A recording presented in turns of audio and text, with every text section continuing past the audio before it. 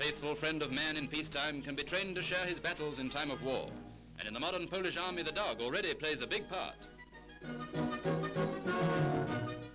They're trained with the same thoroughness as two-legged recruits, and as far as possible under war conditions. The obedience test is the basis of everything. Getting over high fences with medical supplies or dispatches is one of the jobs the animals can do well. It doesn't matter how hard the going, these fine dogs have the heart and the courage to win through. And they make grand companions on sentry go or night patrol over large areas.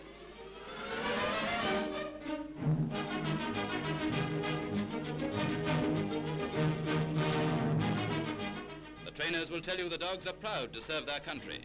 At least they seem proud to serve their masters.